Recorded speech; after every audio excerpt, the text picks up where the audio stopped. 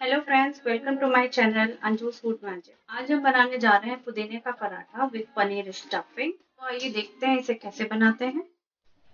ये हमने दो कप गेहूँ का आटा ले लिया है, जिसमें हमने कुछ मसाले लिए हैं, जीरा वन टेबल स्पून अजवाइन one tablespoon red chilli red chilli Kashmiri लाल मिर्च taste according to your taste धनिया मसाला, थोड़ी सी ही। और हल्दी पाउडर। इसके लिए हमने वन बोल पुदीने का पत्ता धो के सुखा के रख लिया है और पनीर की स्टफिंग करेंगे। उसके लिए मैंने ये ग्रेट करके रख लिया है। आटे में हम सबसे पहले इन पत्तों को थोड़ा सा बारीक काट लेंगे।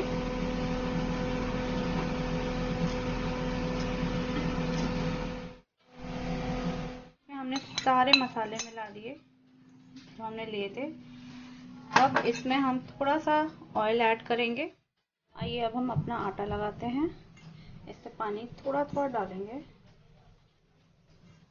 जैसे हम रोटी का आटा लगाते हैं, बहुत गीला नहीं और बहुत सूखा नहीं।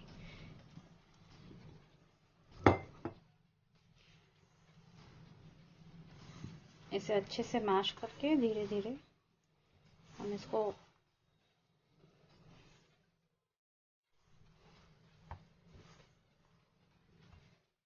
ये हमने अपना आटा अच्छे से लगा लिया है। इसमें थोड़ा सा हम तेल ऐड करके इसे थोड़ा सा चिकना कर हमारा आटा सेट हो गया है।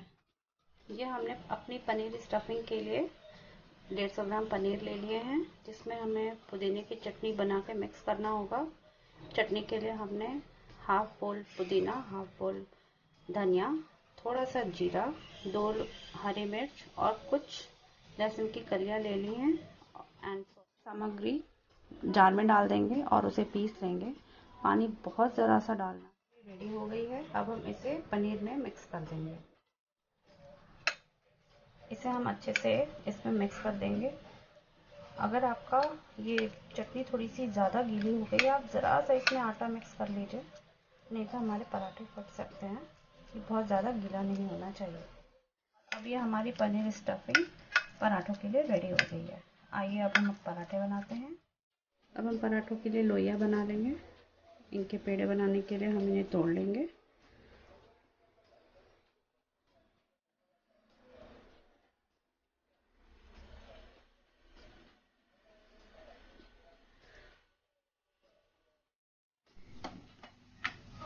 ये हमने इसे बेल लिया बड़ा सा।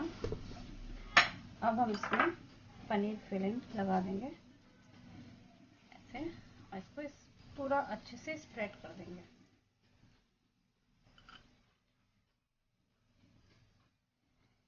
बहुत ज़्यादा फिलिंग नहीं करनी है नहीं तो पराठे आपके फट सकते हैं।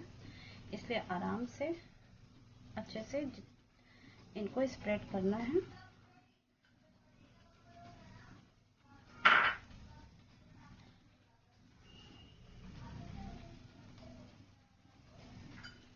और अब हम इन्हें ट्रायंगल शेप में ऐसे फोल्ड कर लेते हैं।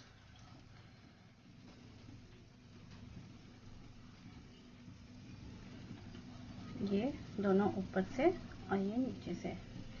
अब हम